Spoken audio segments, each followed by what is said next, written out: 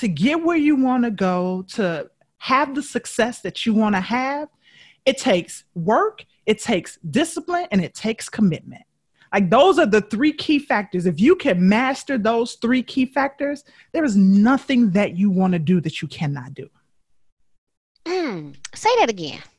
Work, discipline, and commitment and you can have whatever you you want to have. You, you can do whatever you want to do because if you're committed to it that means that you're showing up no matter what. If you're disciplined you're to do what you need to do which means sometimes making adjustments down the road right to get to where you want to be. And then if you put it in the work like you can't lose. You can't lose. Like somebody said you only fail if you quit right? So failure only exists if you quit. But if you keep showing up every day on time, doing what you say you're going to do, and being disciplined at it, like at some point, you're going to win. You're going to win.